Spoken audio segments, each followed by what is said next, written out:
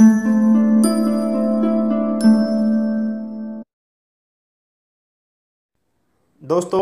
आज मैं आपको बताऊँगा कि किस प्रकार आप माउस क्लिक वीडियो बना सकते हैं और अपनी वीडियो को बेहतर दिखा सकते हैं। तो चलिए दोस्तों, वीडियो को शुरू करते हैं। दोस्तों, आपके पास एक यूएसबी केबल होनी चाहिए, जैसे कि आप स्क्रीन पर देख सकते हैं। और दोस्तों, आपके पास एक होना चाहिए माउस। वो भी आप स्क्रीन पर देख सकते हैं, जिससे आप कंप्यूटर या लैपटॉप चलाते हैं। ठीक है दोस्तों, फिर आपको क्या करना है? जो आपकी चार्ज की पिन होती है, उसमें यूएसबी केबल लगा देंगे। देखिए, ऐसे। ऐसे लगाने के बाद दोस्तों, जो आपकी माउस है, उसकी टी को यूएसबी केबल में लगा देंगे। जैसे ही आप यूएसबी केबल में लगाएँगे, आपके फ़ोन में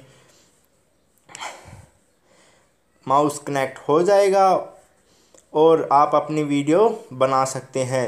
दोस्तों, अगर मेरी वीडियो अच्छी लगी तो चैनल को ज़रूर सब्सक्राइब करें, क्योंकि मैं आपके लिए हमेशा यूट्यूब और एडिटिंग से संबंधित समस्याओं की जानकारी देता रहता हूँ। और अगली वीडियो, दोस्तों, मेरी है कि किस प्रकार मैं वीडियो शूट करता हूँ और और मैं किस सेटिंग से शूटिंग करता हूँ? तो देखिए दोस्तों माइक भी कनेक्ट हो चुका है और आपकी वीडियो